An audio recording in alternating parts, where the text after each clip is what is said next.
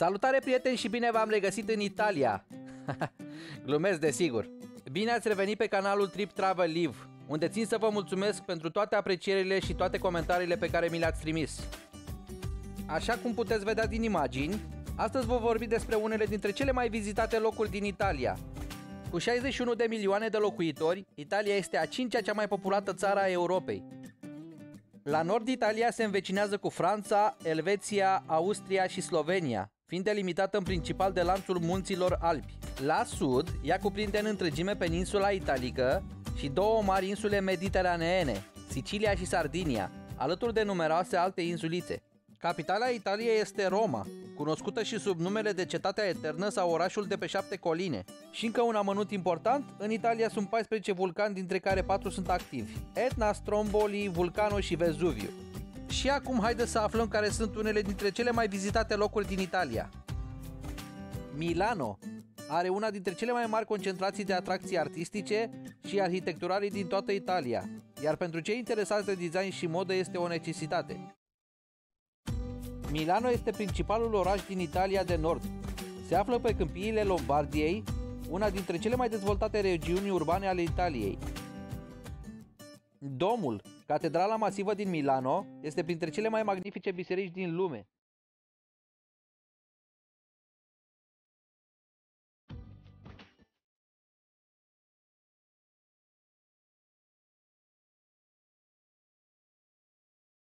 Galeria Vittorio Emanuel al doilea, din piața Domo, este considerat a fi cel mai vechi shopping mall al lumii.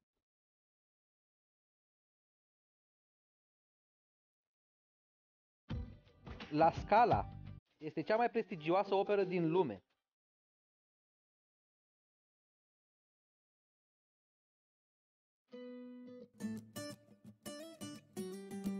Cina cea de taină a lui Da Vinci umple zidul unei mănăstiri, iar în tot orașul sunt muzee și palate pline cu unele dintre cele mai frumoase opere de artă din lume.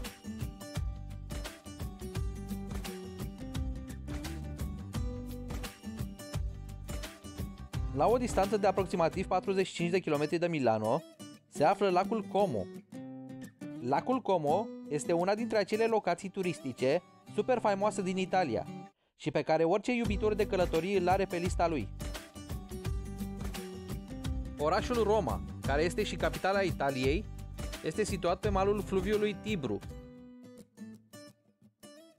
Orașul are o istorie îndelungată, fiind de-a lungul secolelor capitala Republicii Romane, a Imperiului Roman, a Bisericii Romano-Catolice și a Italiei moderne.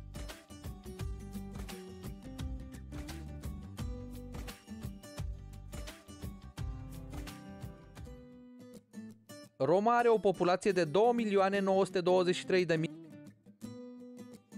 iar aria metropolitană are o populație în jur de 4 milioane. Este capitala regiunii Lazio și a provinciei Roma. Roma mai este cunoscut ca și capitala lumii, orașul etern, orașul celor șapte coline sau pur și simplu orașul. Este unul dintre puținele orașe mari ale Europei care a supraviețuit celui de-al doilea război mondial. Centrul istoric al Romei este pe lista UNESCO de patrimoniu al umanității. Roma este un important centru turistic. Printre monumentele cele mai faimoase se numără Coloseumul, Columna lui Traian, Panteonul, Castelul Sant'Angelo, Fontana di Trevi, Forul Roman Monumentul Vittorio Emanuel al doilea, dar și Piața Spaniei. Într-o enclavă a orașului Roma se află un mic stat suveran, numit Vatican. Întreaga țară este de aproximativ jumătate de kilometru pătrat. Statul este condus de către episcopul Romei, Papa, și astfel poate fi considerat un stat ecleziastic în care funcțiile înalte sunt ocupate de către clerici. În momentul actual, Vaticanul este cel mai mic stat independent din punct de vedere al suprafeței și al numărului de locuitori. Veneția. Cine nu ar putea să nu iubească un oraș al cărui străzi sunt făcute din apă? Ale cărui autobuze sunt bărci și unde cântecele gondolierilor zăbovesc în aer. Este un oraș magic, iar atracția sa majoră pentru turiști este orașul însuși. Centrul orașului este piața San Marco, înconjurată de câteva dintre atracțiile țare turistice de top. Marea Bazilică San Marco se află lângă Palatul Dogilor.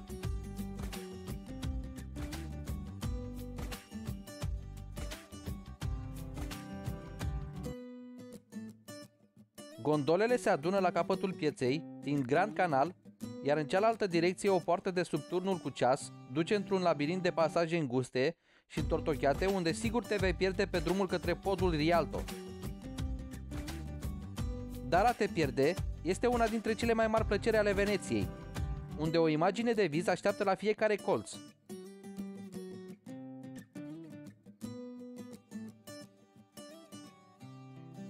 Unul dintre cele mai frumoase locuri de vizitat în Italia este Florența sau Firenze.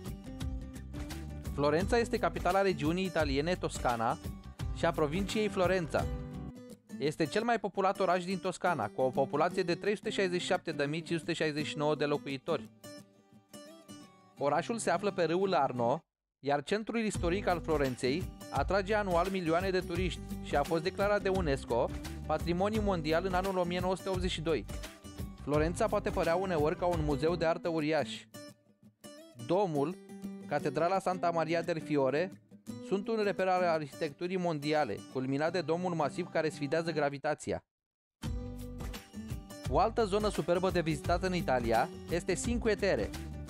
Situat în bazinul mediteranean, pe o porțiune din coasta rivierei italiene, practic zona este formată din 5 orășele mici, Rio Maggiore, Manarola, Vernaza, Monterosso al Mare și Corniglia, amplasate pe stâncile mării și formează un peisaj unic cu ziduri de piatră, cărări întortocheate și cele mai frumoase plaje din regiune.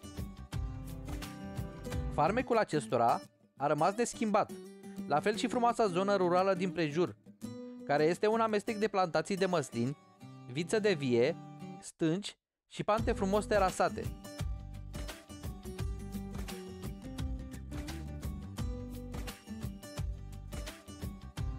Verona este un loc care nu trebuie ratat atunci când vă planificați itinerariul în Italia.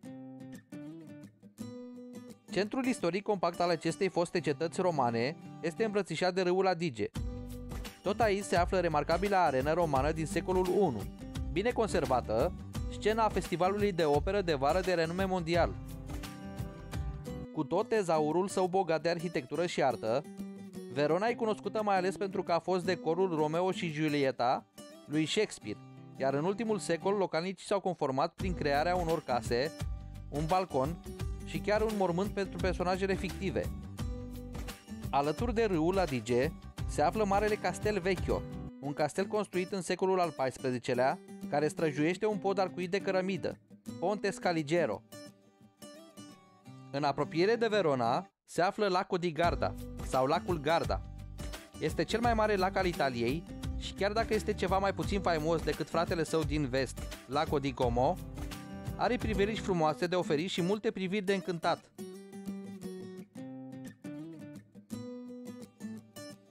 Napoli Napoli este un loc zgomotos, străzile sale sunt înguste, pline de culoare, zgomot și viață.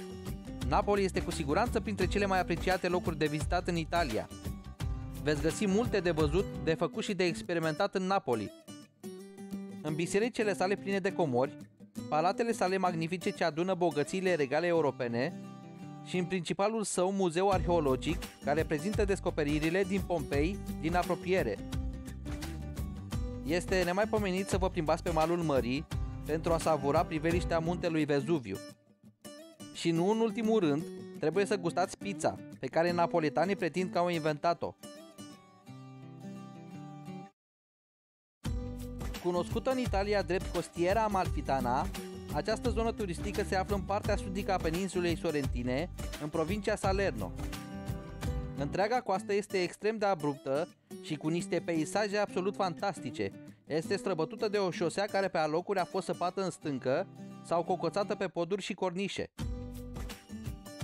Amalfi, Positano, Ravelo, Minori sau Sorrento au fost în trecut mici așezări de pescari pentru ca astăzi să ajungă unele dintre cele mai frumoase stațiuni ale rivierei italiene. Insula Capri este o mică insulă muntoasă din Marea Tireniană, Vestită pentru peisajele sale unice, ea este situată la intrarea în golful Napoli. Insula Capri emană un aer de vacanță și este plină de atracții magnifice care îți vor încânta privirea, mai ales dacă alegi să faci o croazieră de vis, pentru a admira casele de un alb imaculat, apa azurie, stâncile Faraglionii sau grotele spectaculoase. În anul 79 după Hristos, muntele Vezuviu a erupt violent și brusc, înghițind înfloritoarea cetate romană Pompei și înglobând-o timp de mai bine de un mileniu în 6 metri de cenușe și piatră pons. Orașul a rămas înghețat în timp până când săpăturile începute în secolul al XVIII-lea au descoperit mai mult de jumătate din clădirile și spațiile sale publice. Lava vulcanului a intrat și a umplut orașul de la sol, susținând pereții și tavanele pe măsură ce se ridica și păstrându-le pe loc. Detalii precum vasele de mâncare și chiar alimentele au fost păstrate așa cum erau atunci când a avut loc dezastrul.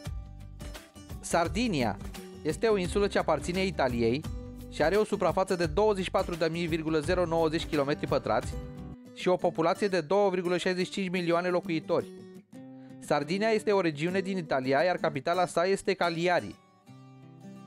Sardinia conține numeroase zone turistice extraordinare, incluzând Costa Smeralda, Costa Paradiso și Gen Argentu. Faimoasă pentru plajele sale, bucata de pământ este bogată și în alte locuri interesante. Peisajele Siciliei, încununate de muntele vulcanic Etna și plajele sale spectaculoase cu nisip auriu, se potrivesc cu atracțiile sale de clasă mondială. Cala Palermo este un oraș vibrant, plin de culoare și clădiri fine. Catedrala Moreale din Palermo se află astăzi aproape exact așa cum a fost construită în anii 1100 și este una dintre atracțiile turistice de top din Sicilia și din Italia. Insula Sicilia a câștigat 7 locuri pe lista patrimoniului mondial UNESCO, 3 pentru siturile sale antice, 2 pentru minunile naturale și 2 pentru comorile arhitecturale. Unele dintre cele mai bune exemple de structuri antice se află în Sicilia. Pe lângă Palermo se mai găsesc și alte orașe precum Catania, Taormina, Siracuza, Trapani, Cefalu, Toscana. Peisajul fabulos al Toscanei este încununat de orașe de piatră ale căror temelii datează de la etrușci. Fiecare se află pe vârful unui deal, unde sunt castele și turnurile care își apărau odată pozițiile de comandă. Toscana, cu orașele sale spectaculoase, cu dealuri și peisaje, este una dintre destinațiile de vacanță de top din Italia. Atracțiile turistice din Toscana includ orașe istorice și artă, vinuri și mâncăruri grozave, orașe medievale, plaje și frumoase zone rurale. Fiecare parte a regiunii toscane are propria sa personalitate unică. Toate merită vizitate. Capitala regiunii este Florența, sau în italiană Firenze, și alte orașe renumite sunt Pisa, Luca, Siena, Arezzo, Livorno, Chianti, San Gimignano. Regiunea Puglia. Aceasta este o regiune situată în sudul Italiei, chiar în călcâiul cizmei peninsulei, cu un potențial turistic excepțional. Orașe întregi construite în stil baroc, plantații de măslini, plajele superbe, de la Marea Adriatică sau de la cea Ionică, sau minunatele locuințe Truli de Alberobello, unice intrate în patrimoniul UNESCO. Regiunea Puglia mai este cunoscută și sub numele de Apulia și este împărțită în șase provincii. Bari, care este capitala regională, Brindisi, Foggia, Lecce, Taranto. Se mai poate vizita și Ostuni sau orașul alb, cum mi se mai spune. Este unul dintre cele mai fermecătoare orașe din regiunea Puglia. Un oraș cocoțat pe deal privind parcă spre mare, cu case superbe vopsite în alb și străduțe înguste. Și în același timp orășelul Monopoli, un orășel de coastă din provincia Bari. Basilicata, Regiunea italiană cunoscută în trecut și ca Lucania este o regiune din sudul Italiei cu o populație de 586.690 de locuitori.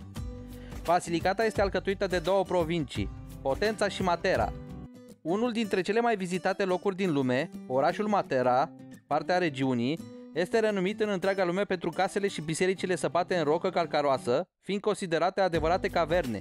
Casele par construite una între alta, ceea ce îți creează impresia că sunt suprapuse. La lumina soarelui, toate aceste case devin de un auriu intens. Emilia-Romania este o regiune din nordul Italiei. Are o formă asemănătoare cu un triunghi dreptunghic. Emilia-Romania este printre cele mai bogate regiuni italiene și este în general privită și ca una dintre cele mai frumoase pentru a locui în ea.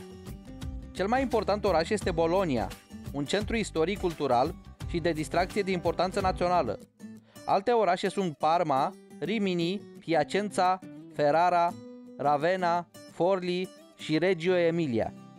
Bucătăria regiunii Emilia-Romania este unul dintre cele mai caracteristice pentru Italia. În Emilia-Romania, agricultura este principala activitate economică. Cultivarea cerealelor, cartofilor, porumbului, roșilor și a cepei sunt cele mai importante împreună cu cea a fructelor și a strugurilor destinate producției de vinuri, din care probabil cel mai faimos este Lambrusco. Creșterea animalelor este și ea dezvoltată, în special cea a porcilor și a bovinelor. Industria din Emilia-Romania este dezvoltată în mod special industria alimentară și turismul pe coasta Mării Adriatice. Acesta a fost clipul cu unele dintre cele mai vizitate locuri din Italia. Până data viitoare vă rog dați un like, un share, un subscribe și să auzim numai de bine. Ciao!